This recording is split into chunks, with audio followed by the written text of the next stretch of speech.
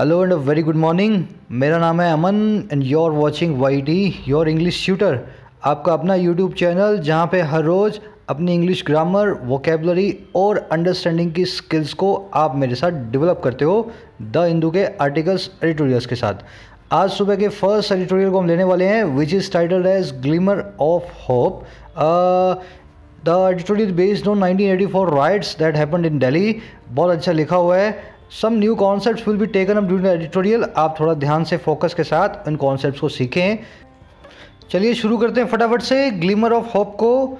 जिस खोज तलाश में आप यहाँ पर आ जाए हैं ना, मैं होप एंड एक्सपेक्ट करता हूँ, वो आपकी यहाँ आ जाकर के पूरी होती है। इंग्लिश को बिगनर लेवल से कैसे सीखा जाए तो चैनल को सब्सक्राइब ज़रूर करें। हर रोज़ एडिटोरियल वीडियोस पब्लिश होती हैं चैनल के ऊपर। कह रहे ग्लिमर ग्लिमर होती है छोटी सी, हल्की सी शाइन आप तारों की टिमटिमाट बोलते हैं ना ट्विंकल ट्विंकल लिटिल स्टार तो वो ट्विंकल जो होता है, वो ग्लिमर ही होता है। होप होती है आशा, होप होती है आपकी एक्सपेक्टेशन कह रहे आशा की किरण दिखाई दे रही है ग्लिमर ऑफ़ होप दिखाई दे रही है। ग्लिमर वर्ड के ये सारे सिनोनिम्स हैं। Flash glitter flicker gloat shimmer twinkle ये सब थोड़े इजी हैं। एक ये नया आपके लिए सिनोनिम है सेंटिलेशन बेसिकली एग्ज़ाम्स में पूछा जाता है जनरली आप राइटिंग में इसको नहीं देखोगे सेंटिलेशंस को, पर ये एक ऐसा ही सिनोनिम है जो जनरली बार बार एग्ज़ाम्स में पूछते हैं तो मैंने लिख दिया इसको। सेंटिलेशन याद रखें हल्की सी टिमटिमाहट। ग्लिटर आप जानते हैं, आपने वो सेइंग सुनी होगी not everything that glitters is gold जो हर चीज़ चमके, वो गोल्ड नहीं होती। वहीं से ग्लिटर जो आप याद रखें, इसको पकड़ के रखें। चलिए देखते हैं, कहाँ से निकली आशाई किरण। कह रहे fresh S I T report on 1984 riots may pave the way for reopening scuttled probes fresh क्या होती है? ताज़ा। एस आई टी रिपोर्ट देखिए रिपोर्ट है, इस रिपोर्ट का नाम है एस आई टी ये होती है special investigative team supreme court के द्वारा अपॉइंट होती है। अपने आगे देखेंगे क्या होती है एस आई टी पर ये fresh S I T report आप इतना याद रखें अभी अभी आई है। अच्छा किस चीज़ के ऊपर है रिपोर्ट ऑन प्रपोजिशन लगा के बता रहा है 1984 राइट्स उन्नीस के दंगों के ऊपर है। अच्छा और क्या करेगी ये? May may pave the way for देखिए मे है यहाँ पे helping verb modal auxiliary verb बोलते हैं इसको। मे का काम क्या होता है? हो सकता है ये करे। मे का मतलब क्या होता है? हो सकता है ये करे। अच्छा क्या करे? पेव कर दे वे को। अच्छा पेव द वे फॉर का मतलब मैंने बता बता चुका ना बहुत बार, रास्ता साफ़ करना क्लियर द वे फॉर हो सकता है ये रास्ते को साफ़ कर दे और किस काम के? रीओपन करने के, फिर से खोलने के उन प्रॉब्स को, उन इन्वेस्टिगेशन को, उन इंक्वायरीज को जो कि स्कटल्ड हैं, जानबूझ करके ख़राब की गई हैं। स्कटल मतलब क्या होती है? डेलीबरेटली डिस्ट्रॉयड स्कटल्ड पूरा सेंटेंस फिर से बताता हूँ मैं आपको। फ्रेश एस रिपोर्ट चौरासी के दंगों पे हो सकता है रास्ता साफ़ कर दे। खोलने का उन इन्वेस्टिगेशंस को, उन जांचों को, जो कि जानबूझ करके डिस्ट्रॉय कर दी गई हैं, ख़राब कर दी गई हैं। चलिए, अब सेंटेंस में देखने वाली चीज़ क्या क्या है? प्रॉब मैंने आपको बता दिया इन्वेस्टिगेशन इंक्वायरी स्क्रूटनी आप कुछ भी इसको बोल सकते हैं एग्जामिनेशन बोल सकते हैं। स्कल्टर्ड एक नया वर्ड है, ऐसी चीज़ जो जानबूझ करके ख़राब की गई हो। जैसे अस्कटल्ड शिप एक ऐसा शिप जिसको जानबूझ करके डुबाया गया हो। समझ बात को? स्कटल्ड को आप जो है, इस तरह से याद रखें। मे और पेव द वे फॉर आपने मेरे साथ बहुत बार देखा है पेव द वे फॉर होता है रास्ता साफ़ करना, इसके ऊपर एक वर्ड है ना बना है अपने पर पेवर ब्लॉक ये देखिए, मैंने आपको याद होगा, कुछ दिन पहले मैंने बहुत लोगों को दिखाया भी था। हाँ ये होते हैं पेवर ब्लॉक सड़क के साइड में होते हैं। इनका काम क्या होता है, इसके ऊपर आप चलेंगे ना तो आपका रास्ता आपको मालूम चलता रहेगा फुटपाथ का। आप किसी व्हीकल के नीचे नहीं आएँगे। इसका काम यही होता है पेव करता है वे को, इसलिए इसको पेवर ब्लॉक बोलते हैं। चलिए सेंटेंस को समझना हो तो आप उसको पार्सिंग करें। पार्सिंग करने का मतलब है हर वर्ड को तोड़ करके सेंटेंस के सब्जेक्ट ऑब्जेक्ट वर्ब और प्रपोजिशन को अलग अलग करके उसको समझें क्या काम कर रहा है, कौन सा वर्ड इस सेंटेंस की मैं पार्सिंग कर रहा हूँ आपके सामने। आपको पता चले ये सेंटेंस कैसे बना हुआ है। फ्रेश क्या होता है? एजेक्टिव होता है। एजेक्टिव वो होते हैं जो नाउन की क्वालिटी बताते हैं। आप बोलोगे this bread is fresh this food is fresh fresh food fresh bread तो ये फ्रेश एजेक्टिव की तरह काम करता है। अब ये एडजेक्टिव फ्रेश किसके लिए बता रहा है? कुछ एसआईटी रिपोर्ट के लिए। एसआईटी और रिपोर्ट दोनों नाउन है। दो नाउन मिलके एक ही नाउन बनाते हैं कंपाउंड नाउन बोलते हैं इसको। ये एडजेक्टिव इसके आगे लग गया। पूरा एक ही चीज़ बन गई है। फ्रेश एसआईटी रिपोर्ट अच्छा ऑन होती है प्रपोजिशन ये प्रपोजिशन के बाद क्या आएगा? एक नाउन प्रोनाउन देखिए, यहाँ आया हुआ है नाइनटीन राइट्स उन्नीस सौ चौरासी के दंगे। तो ऑन प्रपोजिशन का ऑब्जेक्ट बन गए ये दंगे। अच्छा अब आ गई मॉडल ऑक्सिलरी वर्ब में। ये होती है हेल्पिंग वर्ब हेल्पिंग वर्ब को एक सब्जेक्ट चाहिए। आपने देखा इस ऑन प्रपोजिशन के बाद ये नाउन आया हुआ है। सब्जेक्ट बन सकते हैं नाउन या प्रोनाउन किसी भी सब्जेक्ट सेंटेंस का। पर ये जो नाउन आया हुआ है 1984 राइट्स ये इस ऑन प्रपोजिशन के बाद आया है। ये इसका ऑब्जेक्ट है, हमारा सब्जेक्ट नहीं बन सकता। हमारा सब्जेक्ट क्या बनेगा? इससे पहले जो नाउन बचा था। फ्रेश एस रिपोर्ट ये नाउन फ्रेज इसका सब्जेक्ट बन जाए में होती है modal auxiliary verb auxiliary verb मतलब हेल्पिंग वर्ब हेल्पिंग वर्ब के बाद एक मेन वर्ब ज़रूर आएगी तो यहाँ पे क्या आई हुई है? पेव में पेव पेव मतलब रास्ता दिखाना। देखिए पेव के आगे इसने ऑब्जेक्ट भी दिया वर्ब का द वे पेव किसको करना है? द वे को, रास्ते को। फिर प्रेपोजिशन लगी हुई है फोर प्रेपोजिशन के बाद नाउन प्रोनाउन या जेरेंड आते हैं। यहाँ पे री ओपनिंग नाम का जेरेंड लगा हुआ है। जेरेंड क्या होता है? वर्ब की आईएनजी फॉर्म जो नाउन का काम करे। तो फोर के बाद वर्ब की आईएनजी फॉर्म आई हुई है या नाउन या प्रोनाउन भी आ सकता था यहाँ पे। देखिए जेरेंड अपना एक ऑब्जेक्ट ज़रूर लेगा। इस पर री ओपन किसको करना है? स्कटल्ड प्रॉप्स को। ऐसी प्रॉप्स को, ऐसे नाउन को जो स्कटल्ड है एडजेक्टिव तो ये प्रॉप के बारे में कुछ बता रहा है। स्कटल्ड एडजेक्टिव प्रॉप नाउन इस तरह से पूरा सेंटेंस बना हुआ है। आप खुद पार्स करके देखें, हर वर्ड को चेक करें। अगर आपको समझ में नहीं आता है नाउन है प्रोनाउन है एडजेक्टिव है डिक्शनरी खोलें, आपको धीरे धीरे खुद ही आइडिया लगने लगेगा कौन सी चीज़ नाउन होती है, कौन सी चीज़ प्रोनाउन होती है। एक स्पेशल वीडियो इसी पे करने वाले हैं इस वीक अपने। पार्सिंग को कैसे किया जाए, कैसे वर्ड को समझा जाए, हर एक वर्ड क्या बना हुआ है। चलिए शुरू करते हैं। छोटी सी एक समरी दे देता हूँ। 1984 राइट्स जो कि दिल्ली के अंदर हुए थे, सिखों के ऊपर, वो बंद हो चुके हैं उसके केस अभी तक, क्योंकि बीस तीस साल हो गए हैं।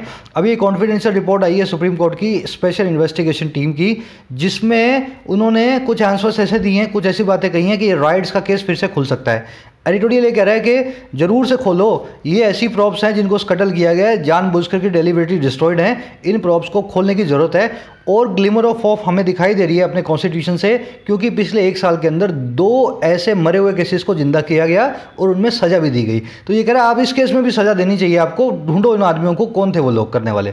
जी, शुरू करते हैं। A confidential report by a Congress appointed special investigation team SIT may contain answers. यहीं तक चलते हैं, फिर अपने आगे बढ़ेंगे। देखिए कॉन्फिडेंशियल रिपोर्ट कौन सी होती है? यहाँ आपने ऊपर देखा SIT report fresh SIT report यहाँ पे ये कॉन्फिडेंशियल इस रिपोर्ट को कर रहा है मॉडिफाई मतलब कॉन्फिडेंशियल बता रहा है इस रिपोर्ट की क्वालिटी को एडजेक्टिव है यहाँ पे। इसका मतलब होता है सीक्रेट इसका मतलब होता है ऐसी चीज़ जो आप सबको नहीं बता सकते। तो कह रहे एक ऐसी रिपोर्ट जो सीक्रेट है, और कहाँ से आई है? बाय लगा के बताएगा। A court appointed special investigation team से आई है। कह रहा, मे कंटेन इस मे का सब्जेक्ट कौन है? कॉन्फिडेंशियल रिपोर्ट देखिए बाय प्रपोजिशन के बाद क्या आया? ये सारा का सारा आ गया। ये बाय प्रपोजिशन का ऑब्जेक्ट है। तो ये तो हमारा सब्जेक्ट नहीं हो सकता तो सब्जेक्ट कौन बना? कॉन्फिडेंशियल रिपोर्ट ये कह रहे कॉन्फिडेंशियल रिपोर्ट हो सकता है कंटेन करती हो, रखती हो आंसर्स को, जवाबों को. अब ये आंसर्स किसके हैं? ये बताएगा आगे, देखो। To the question of whether there will be any significant improvement in countries poor record इस क्वेश्चन के लिए आंसर है टू द क्वेश्चन और क्वेश्चन क्या है? हाँ के ना वेदर देर विल बी वहाँ होगा। एनी कोई भी सिग्निफिकेंट इंप्रूवमेंट बहुत ज़्यादा कोई इंपॉर्टेंट टाइप की बेहतरी इंप्रूवमेंट होगी इन द कंट्रीज़ कंट्री के पुअर खराब रिकॉर्ड में। और रिकॉर्ड किसमें है? इन के अंदर सिक्योरिंग सिक्योर करने के अंदर। जस्टिस को, न्याय को फॉर के लिए द विक्टिम उन विक्टिम्स के लिए उन जो है विक्टिम कौन होते हैं? जिसको शिकार बनाया जाए। और विक्टिम है of the 1984 anti Sikh riots anti Sikh pogrom उन्नीस सौ चौरासी के एंटी सिख जो प्रोग्राम हुआ था, जो जिनोसाइड हुआ था, नरसंहार हुआ था, उसके लिए। पूरा सेंटेंस फिर से बताता हूँ, आपको फिर इसकी बारीकियाँ बताऊँगा।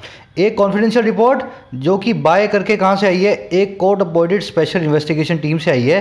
हो सकता है ये कंटेन करती हो जवाबों को उन सवालों के लिए हाँ कि ना, वहाँ होगी कोई ज़्यादा इम्पोर्टेंट बेहतरी। हमारी इस कंट्री के बहुत ख़राब रिकॉर्ड में, जो कि है सिक्योर करने में, महफूज करने में जस्टिस को, न्याय को, उन विक्टिम्स के लिए, उन उन जो है पीड़ितों के लिए विक्टिम्स क्या होते हैं? जो शिकारों के लिए, जो कि थे उन्नीस सौ चौरासी के एंटी सिख सिखों के खिलाफ के प्रोग्राम में, नरसंहार में। सेंटेंस में देखने वाली चीज़ क्या है? मैंने अभी आपको बताया, इस मे का सब्जेक्ट है। कॉन्फिडेंशियल रिपोर्ट आप पार्स करके चलें आपको हर जगह के कोई भी वर्ब आएगी ना उसका सब्जेक्ट आपको इस तरीके से मिल जाएगा। देखिए by a court appointed special investigative team ये बाय क्या बता रहे हैं अपने? किसने काम किया ये? कॉन्फिडेंशियल रिपोर्ट कौन लेकर के आया? ये बाय प्रपोजिशन के सारे यूसेस हमने कल एक स्पेशल वीडियो में देखे थे। अभी ऊपर डाल दे रहा हूँ। ये वीडियोस आपके लिए ही हैं। प्रपोजिशंस को एक एक करके मैं बताने की कोशिश कर रहा हूँ कैसे किस प्रपोजिशन का क्या यूज़ होता है। ज़रूर देखें। आ,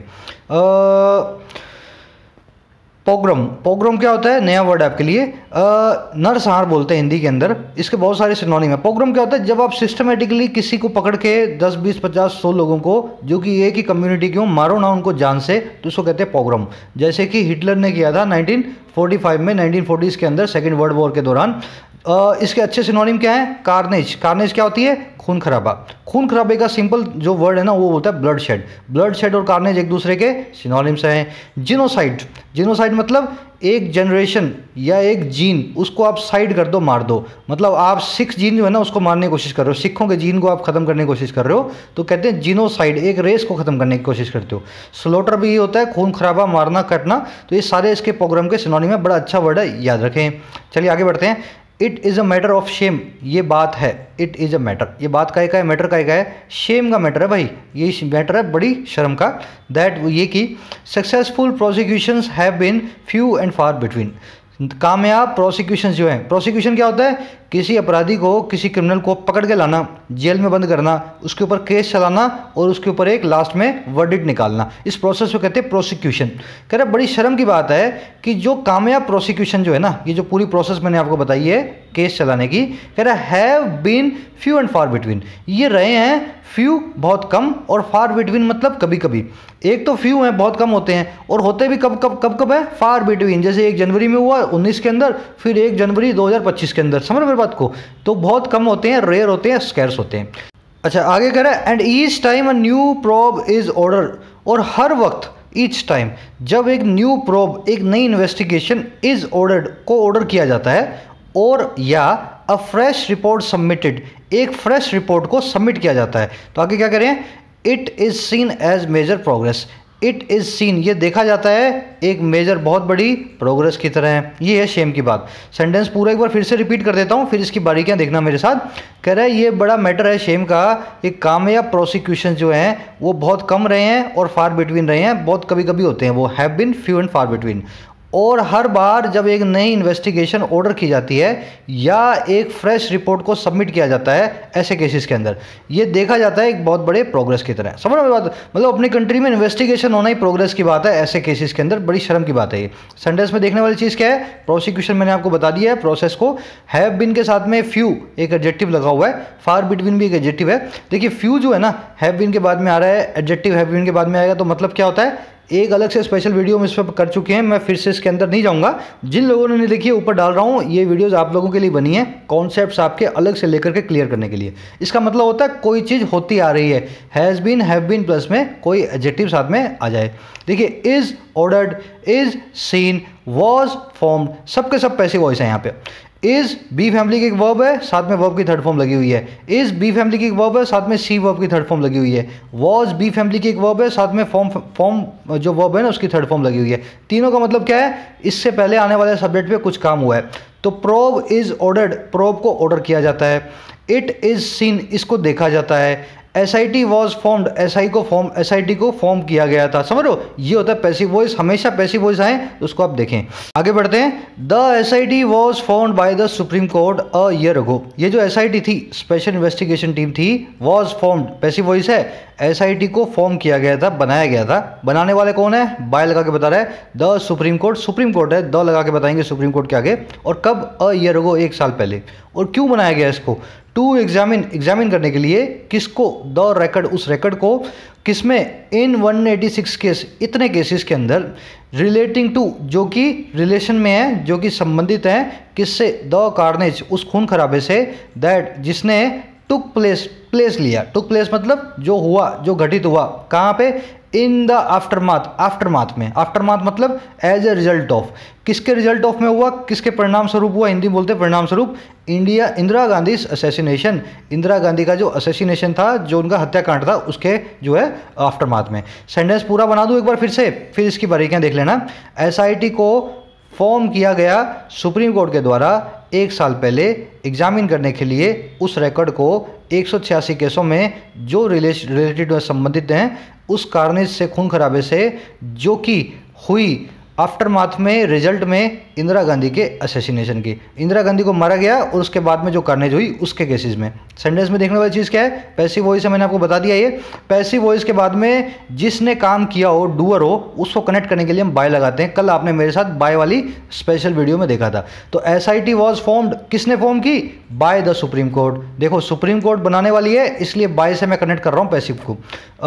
रिलेटिंग टू और एक किसी ने मुझसे पूछा था कमेंट्स में सर रिलेटिंग टू और रिलेटेड टू में क्या फ़र्क होता बहुत गहरे में चले गए आप, चलो फिर भी बता देता हूँ आपको। देखिए रिलेटिंग टू मतलब डायरेक्ट रिलेशन और रिलेटेड टू मतलब समवट इन डायरेक्ट रिलेशन दोनों का मतलब इंटरचेंजेबली आप यूज़ करोगे इनको जनरली वैसे रिलेटिंग टू जो होता है रिलेटेड टू की बहुत स्ट्रॉन्ग फॉर्म है। जब कोई चीज़ रिलेटिंग टू होती है ना मतलब उसका डायरेक्ट रिलेशन है और रिलेटेड टू होगी ना तो थोड़ा सा, जैसे मैं बोलूँ the case relating to 1984 riots वो केस जिसका डायरेक्ट रिलेशन है उन्नीस सौ चौरासी के दंगों से। और एक दूसरा मैं बोलूँ the case is related to 1984 riots इसमें बोल रहा हूँ 1984 के राइट्स के केस से और जो रिलेटेड केस है, समझ में बात? डायरेक्ट नहीं इनडायरेक्ट रिलेशन की बात करूँगा, जब मैं रिलेटेड टू को यूज़ करूँगा।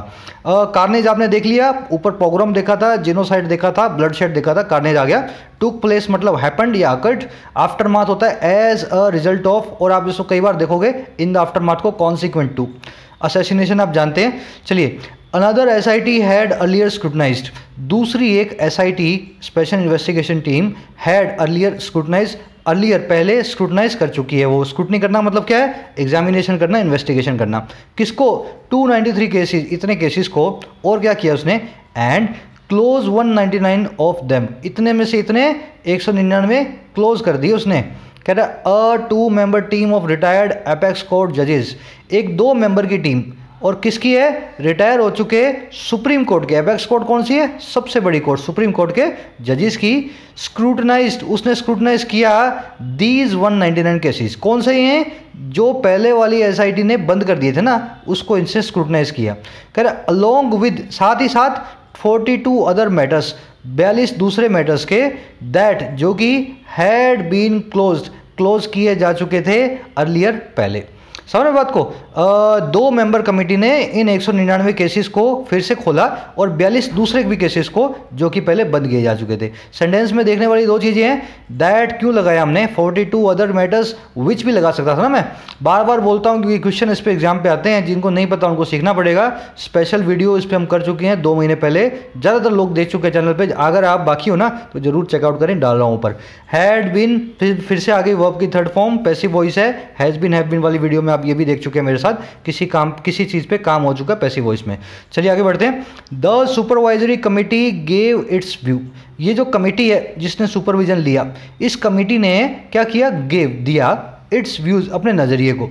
ऑन दीज 241 केसेस, इन 241 केसों पे अच्छा आगे क्या कर रहा है? And the bench headed by then chief justice of India. और जो बेंच है, बेंच क्या होता है? अ ग्रुप ऑफ़ जजेस को हम बोलते हैं बेंच चार तीन जज बैठ के किसी केस की सुनवाई करते हैं तो उसके लिए वन वर्ड है बेंच और कह रहे हैं, जो ग्रुप ऑफ़ जजेज है ना बेंच है हेडेड बाय जिसकी नेतागिरी कौन कर रहे हैं हेडेड बाय कौन कर रहे थे? कह रहे the then chief justice of India हमारे chief justice of India, the chief justice, जो कि देन उस टाइम हुआ करते थे। आज की बात नहीं है अर्स्ट वाइल देन की बात कर रहे हैं, जिनका नाम है दीपक मिश्रा। कह रहा वॉज़ इन्फॉर्म्ड ये बेंच को इन्फॉर्म किया गया दैट ये 186 मेरिटेड फर्दर इन्वेस्टिगेशन कि 186 जो केसेस है ना, इनको मेरिट थी, इनको रिक्वायरमेंट थी और आगे इन्वेस्टिगेशन की। सेंटेंस पूरा एक बार फिर से बता रहा हूँ, थोड़े कॉम्प्लिकेटेड है, फिर आप इसकी बारीकी देखना। ये सुपरवाइजरी कमेटी इसने अपनी व्यूज़ दी इतने केसों के ऊपर। और जो जजेस का ग्रुप था बेंच था, जिसकी अगुवाई कर रहे थे, तब के चीफ जस्टिस ऑफ़ इंडिया तब के। मतलब ये बेंच तब का था, आज का नहीं है। जिनका नाम था ये, इस बेंच को इन्फॉर्म किया गया कि एक केसेस जो थे, जिनको बंद कर दिया गया ना, एक केसेस इनको ज़रूरत थी और आगे फर्दर इन्वेस्टिगेशन की। सेंटेंस में देखने वाली चीज़ क्या है? ये देन है ना टी एच ई एन है टी एच ए एन नहीं है टी एच ए एन कुछ और होता है, उसको हम कंपेयर कंपेयर कंपेयर करते हैं ना जब किसी चीज़ से I am taller than you तब आप यूज़ करते हैं। देन का मतलब होता है तब। Then chief justice of India का मतलब है, जब जिस टाइम की बेंच की बात हो रही है, तब की बात कर रहे हैं। इसके लिए एक दूसरा वर्ड आता है अर्स्ट वाइल या आप इसको बोल सकते हैं ऑफ़ दैट टाइम चलिए आगे बढ़ते हैं। A fresh three member team headed by retired Delhi high court जज एस एन ढिंगड़ा एक फ्रेश तीन मेंबर की टीम है, जिसकी अगुवाई कर रहे हैं हेडेड बाय किसके द्वारा है? रिटायर्ड दिल्ली हाईकोर्ट के जज के द्वारा है। और कौन है ये? S N Dhingra was asked इसको पूछा गया। अब देखिए, किसको पूछा गया? वॉज़ ऑस्ट कौन है? रिटायर्ड झिंगड़ा है जज हैं या थ्री मेंबर टीम है? आप खुद डिसाइड करो ना। अभी इसकी पार्सिंग कर लो, यहाँ से आपको मालूम चल जाएगा। फ्रेश थ्री मेंबर टीम एक नाउन हो गया। एक नाउन फ्रेज हो गया। अलग कर दो इसको। कोई प्रपोजिशन से जुड़ा हुआ है? नहीं जुड़ा हुआ। इसके बाद में कोई वॉब आ रही है? नहीं आ रही है। हेडेड बाय एक प्रेजेंट पास पार्टिसिपल है, इस टीम के बारे में एडजेक्टिव की तरह काम कर रहा है। कह रहे जो कि हेडेड बाय थी। तो फ्रेश थ्री मेंबर टीम इसको अलग कर दो। हेडेड के बाद में बाय लगा हुआ है बाय के बाद में ये जज आए हुए हैं। ये कौन है? इस बाय प्रपोजिशन के ऑब्जेक्ट हैं। जब ये इसके ऑब्जेक्ट बन गए तो हमारे वॉज़ और उसके सब्जेक्ट नहीं बन सकते। समझ गए मेरी बात को? तो इसलिए सब्जेक्ट कौन है? फ्रेश मेंबर टीम तो fresh three member team was asked इस टीम से पूछा गया। पैसिव वॉइस है यहाँ पे वॉज़ आस्ट क्या पूछा गया? टू एग्जामिन एग्जामिन करे ये दीज एक सौ छियासी, इन एक केसों को। कह रहे लास्ट वीक पिछले week the team submitted its report इस टीम ने सबमिट कर दी अपनी रिपोर्ट को। कह रहा regardless of how many cases of out of these result in prosecution regardless of देखिए रिगार्डलेस मतलब आप इस चीज़ की परवाह मत करो। कह रहे, बिना परवाह किए, इस चीज़ को बिना तवज्जो दिए, वो क्या? कि कितने cases how many cases of these out of these इनमें से रिज़ल्ट रिज़ल्ट होते हैं, परिणाम आता है, उनका नतीजा आता है इन प्रोसिक्यूशन प्रोसिक्यूशन के अंदर। इस बात को छोड़ दो रिगार्डलेस कितने केसेस में प्रोसिक्यूशन आता है। कोमल कह रहे हैं देर इज़ लिटल डाउट वहाँ बहुत कम डाउट है लिटल डाउट है, बिल्कुल कम डाउट है। दैट वो ये कि द डेवलपमेंट ये जो घटनाक्रम है, ये जो डेवलपमेंट है, ये जो नई जो अपने पास न्यूज़ आई है ऑफ़र सी ऑफ़र करती है a glimmer of hope hope की एक ग्लिमर को, आशा की किरण को किनको टू द विक्टिम्स ऑफ़ 1984 1984 के पोग्रोम के जिनोसाइड के विक्टिम्स को, शिकारों को। समझ गए मेरी बात को? मैं सेंटेंस को इसलिए रिपीट करता हूँ, जिन लोगों की इंग्लिश बिल्कुल ख़त्म है, उन लोगों को थोड़ी सी भी कन्फ्यूज़न नहीं रहे। इसलिए एक बार फिर से बता रहा हूँ मैं, छोड़ दो इस चीज़ को रिगार्डलेस ऑफ़ कि कितने केसेस इनमें से रिज़ल्ट होते हैं प्रोसिक्यूशन में, कितने केसेस में प्रोसिक्यूशन आएगा। वहाँ पे इस बात को छोड़ने के बाद बहुत कम डाउट रह गया है लिटल डाउट है, कि ये जो नई डेवलपमेंट है, ये जो नया घटनाक्रम में न्यूज़ है ऑफ़र करती है एक आशा की किरण को, उन शिकारों के लिए, उन पीड़ितों के लिए, जो कि उन्नीस सौ चौरासी के हैं, दंगों के हैं। सेंटेंस में देखने वाली चीज़ क्या है? लिटल डाउट बार बार बताता हूँ लिटल जब ए एन डी के बिना आ जाए तो मतलब होता है ना के बराबर।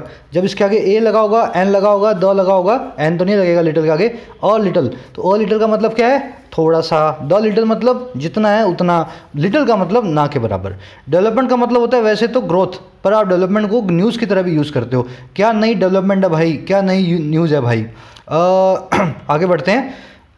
The country can not forget, ये जो देश है, नहीं भूल सकता, कैन नॉट फॉरगेट। दैट वो ये कि एज मैनी एज इतने, कितने? तैतीस सौ पच्चीस people from the Sikh community Sikh community से आगे करें इंक्लूडिंग सत्ताईस सौ तैंतीस, जिसमें शामिल हैं सत्ताईस सौ तैंतीस। इन दिल्ली दिल्ली के अंदर अलोन अकेले were killed in the pogrom मारे गए थे इस प्रोग्राम में, इस नरसंहार में, इस जिनोसाइड में। समझ मेरी बात को कंट्री नहीं बोल सकती है।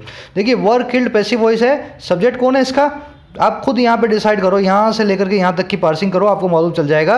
इसका सब्जेक्ट जो है three three two five people आएगा। आप इसकी पार्सिंग करोगे ना आपको खुद पता लगेगा वर्ग से पहले एक ही ऐसा नाउन बच रहा है जो कि इसका सब्जेक्ट बन सकता है। बाकी सबके सब इंगेज है किसी प्रपोजिशन से किसी दूसरी वर्ब से। प्रोग्राम आपने मेरे साथ देख लिया आपने जीनोसाइड देखा आपने आ, और भी देखे ना इसके कार्नेज देखे ब्लड शेड देखे सब प्रोग्राम ही है। आगे बढ़ते हैं कह रहा है इट इज़ नॉट ईजी नहीं है ये आसान। टू सिक्योर सिक्योर करना, महफूज करना कॉन्विक्शंस कॉन्विक्शन क्या होता है? किसी अपराधी को पकड़ के उसके ऊपर केस चला के प्रोसिक्यूट करने के बाद उसको एक फाइनल आप जो है ना पनिशमेंट दे दो। तो आप उसको कॉन्विक्ट बना देते हो और उसको काम को कहते हैं अपने कॉन्विक्शन कह रहे ये इजी नहीं है सिक्योर करना कॉन्विक्शन को। नहीं है इजी इजी सज़ा देना। इन इंस्टेंसेस ऐसे इंस्टेंसेस में, ऐसे एग्जांपल्स में, ऐसे किस्सों में ऑफ़ कम्युनल राइट्स जो कि दंगों के हैं कम्युनिटी कम्युनिटी दंगों के कम्युनल राइट्स के। और किसके? सेक्टेरियन वायलेंस ऐसे हिंसा के वायलेंस के, जो कि सेक्टेरियन है। सेक्टेरियन क्या होती है? Related to a section of society Muslim के खिलाफ हिंदू के खिलाफ जो है सिख्स के खिलाफ तो ऐसे सेक्टेरियन वायलेंस के अंदर। ये बड़ा ईजी नहीं है। कोमल अगर है especially those that involve thousands of offenders खास करके वो केस? दोज दैट जो कि इन्वॉल्व इन्वॉल्व होते हैं इन्वॉल्व करते हैं थाउजेंड्स ऑफ़ ऑफेंडर्स हज़ारों ऑफेंडर्स को, हज़ारों क्रिमिनल्स को। और कौन से ऑफेंडर्स हैं? ग्रिप्ड बाय मॉब फ्रेंजी जो कि ग्रिप्ड बाय हैं, जो कि पकड़ में हैं मॉब भीड़ की फ्रेंजी के अंदर। फ्रेंजी क्या होती है? मैडनेस एंथुजियाजम वो जो आपने देखा होगा ना, हड़ताल करते हैं आगे आगे जाकर के मोर्चे लगाते हैं, वो फ्रेंजी होती है वो। अब मैं पूरा सेंटेंस फिर से बता रहा हूँ, बड़ा अच्छा सेंटेंस लिखा हुआ है कह रहे ईजी नहीं है, पा लेना कॉन्विक्शन को ऐसे किस्सों में कम्युनल राइट्स के और सेक्टेरियन वायलेंस के। खास करके वो जिनमें इन्वॉल्व होते हैं हज़ारों लोग, हज़ारों ऑफेंडर्स और सब के सब जो पकड़ में होते हैं, एक भीड़ की फ्रेंजी में, एक भीड़ बन करके पागलपन के साथ जो है ऐसा काम करते हैं। सेंटेंस में देखने वाली चीज़ को एक ही है सेक्टेरियन मैंने आपको बता दिया related to a section of society related to section of community offender होता है क्रिमिनल फ्रेंजी मैंने आपको बताया ना मैडनेस इसको एंथुजियाजम भी बोलते हैं। आप में बहुत ज़्यादा जो उत्साह आ जाए, जोश आ जाए तो आप फ्रेंजी के अंदर आ जाते हो मॉब फ्रेंजी यही होती है, जो मॉब लिंचिंग आपने सुना होगा। मॉब फ्रेंजी में आकर के मॉब लिंचिंग करती है। आगे देखते हैं। कह रहे, और आगे फर्दर इन 1984 1984 में कुछ हुआ। कह रहे देयर वॉज़ लिटल एफर्ट वहाँ था ना के बराबर एफर्ट कोशिश। इन द अर्ली डेज़ शुरुआती दिनों में। और क्या करने की? To bring the book, bring the book करने की, अपराधियों के खिलाफ केस दर्ज करने की, द हाई पॉलिटिकल फंक्शनरीज। और कौन किन को लाना बुक पे? हाई पॉलिटिकल फंक्शनरीज को, ऊँचे ऊँचे सियासी कार्यकर्ताओं को, पॉलिटिकल फंक्शनरीज को। और किसके हैं? Of the Congress Congress party के पार्टी है द लगा रहा हूँ इसके आगे। ऑफ़ द कांग्रेस अब आगे बता रहा है who were suspected to have instigated the riots जिनसे हु वर सस्पेक्टेड उन पे जिनसे आशा थी, जिनसे सस्पिशन था, जिनके ऊपर शक था कि हैव इंस्टिगेटेड राइट्स कि उन्होंने इंस्टिगेट किया, भड़काया है दंगों को। ये मैं आपको स्ट्रक्चर बताऊँगा। Were suppose suspected to have instigated पहले सेंटेंस पूरा देख लो। कह रहा और आगे, उन्नीस में बहुत कम लिटल एफर्ट हुए थे शुरुआती दिनों में ब्रिंग द बुक करने के केस दर्ज करने के हाई पॉलिटिकल फंक्शनरीज के खिलाफ किसके? कांग्रेस पार्टी के। जिन पे ऐसा सस्पिशन था कि जिनसे ऐसे शक था कि उन्होंने इंस्टिगेट किया, भड़काया है इन दंगों को। देखिए ब्रिंग द बुक मैंने आपको बता दिया, जब पुलिस वाले किसी को पकड़ करके उसका नाम अपनी बुक में दर्ज कर देते हैं ना मतलब उस आदमी के ऊपर केस चलेगा अब। तो ब्रिंग टू बुक एक ईडियम ही बन गई। किसी को ब्रिंग टू बुक करने का मतलब क्या है? पकड़ लेना, केस दर्ज कर देना, अपराधी बनाने की प्रोसीजर को चालू कर देना उसके। फंक्शनरी होते हैं कार्यकर्ता। हु यहाँ पे रिलेटिव प्रोनाउन है? फंक्शनरीज इंसान है, सांस लेते हैं। ऐसे इंसान, ऐसे लोग जो कि ह्यूमन है, उनके लिए अपने हु यूज़ करते हैं। अदरवाइज़ अपने दैट या विच लगा करके काम चला लेते हैं। देखिए अब ये देखो। Were suspected to have instigated इस सेंटेंस को मैं तोड़ करके बता रहा हूँ कैसे यूज़ करना है आपको। मैं बोल रहा हूँ ही हैज़ डन इट वो ये काम कर चुका है। किसी ने पूछा, यार किसने किया ये? मैंने बोला ही हैज़ डन इट भाई, उसने किया ये, सामने वाला बैठा है जो ये कर चुका है। अब आपने बोला, इसको he he is suspected to have done it मैंने तो कह दिया, इसने किया आपको थोड़ा सा ना विश्वास नहीं है। तो आप क्या बोल रहे हो? अच्छा he is suspected to have done it वो सस्पेक्टेड है, इस काम को कर चुका होने का। आप मुझसे यूँ पूछ रहे हो। देखिए सस्पेक्टेड के बाद में टू लगाया मैंने, और बाद में हैज़ को मैंने हैव में चेंज कर दिया। इसमें देखने वाली चीज़ क्या है? ये two modal auxiliary verbs do did इनके बाद में क्या है? आप वर्ब की जो फ़र्स्ट फॉर्म है ना बेयर इन्फिनेटिव उसी को लेते हो। तो हैज़ को मैंने हैव में बदल दिया, चाहे मेरा सब्जेक्ट ही था।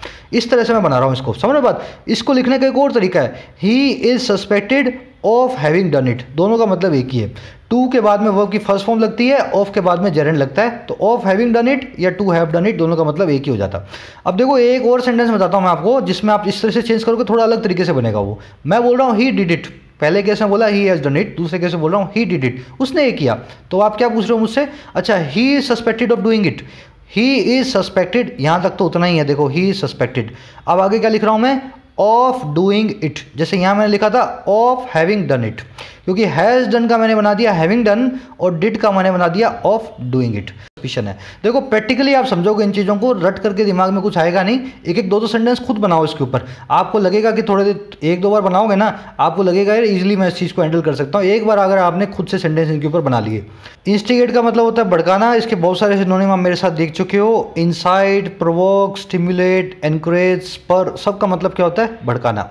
कह रहे हाउ हालाँकि in the last twelve months पिछले बारह महीनों के दौरान देयर हैव बिन वहाँ रहे हैं at least two rare instances कम से कम दो ऐसे रेयर रेयर मतलब विरले रेयर मतलब जो बहुत कम हो। इंस्टेंसेस ऐसे एग्जाम्पल्स ऑफ़ सक्सेस कामयाबी के। फिर भी कह रहा है, दो एग्ज़ाम्पल रहे हैं, कामयाबी के, जो कि रेयर हैं पिछले 12 महीनों में। फिर से आ गया हैव बिन साथ के अंदर टू रेयर इंस्टेंसेस एक नाउन आ रहा है। हैव बिन प्लस नाउन क्या होता है? आप जानते हैं अच्छे से, उस वीडियो में आपने मैंने अच्छे से क्लियर किया हुआ है।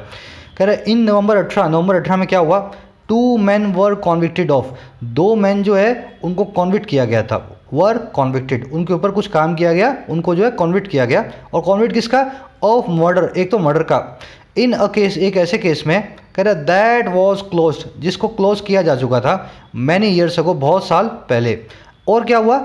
And resurrected by the governments और जो रेजरेक्ट किया गया, फिर से ज़िंदा किया गया। किसके द्वारा?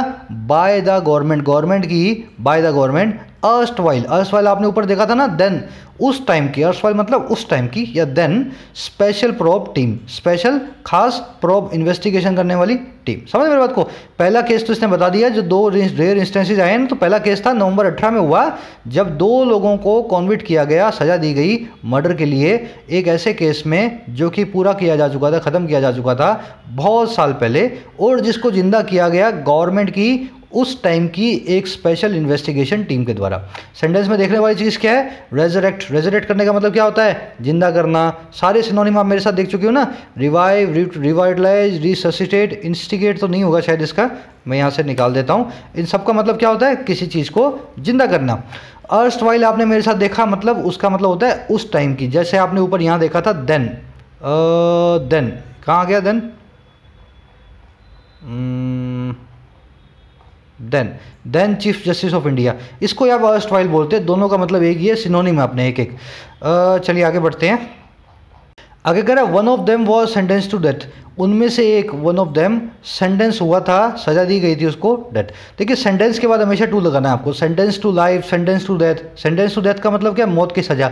सेंटेंस टू लाइफ का मतलब है लाइफ की सजा. अब लाइफ की सजा क्या होती है? लाइफ टर्म आपको मिल गई है, उम्र कैद बोलते हैं ना, उसको बोलते हैं सेंटेंस टू लाइफ तो एक तो था, उसको तो सेंटेंस टू डेथ किया गया, मौत की सजा मिल गई. एंड द अदर दूसरा टू लाइफ उसको मिल गई उम्र कैद.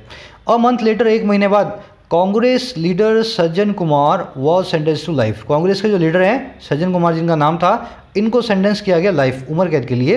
किसने कर किया है? By the Delhi high court Delhi high court के द्वारा। और कब? After being acquitted by the trial court बाद में बींग होने के एक्विटेड का मतलब क्या है? बाइजत बरी और किसके द्वारा? ट्रायल कोर्ट के द्वारा और कब? फाइव ईयर्स अर्लियस पाँच साल पहले। तो ट्रायल कोर्ट ने पाँच साल पहले बरी कर दिया था एक्विट कर दिया था। उसके होने के बाद दिल्ली हाई कोर्ट ने सेंटेंस टू लाइफ कर दिया इस सज्जन कुमार नाम के कांग्रेस के लीडर को।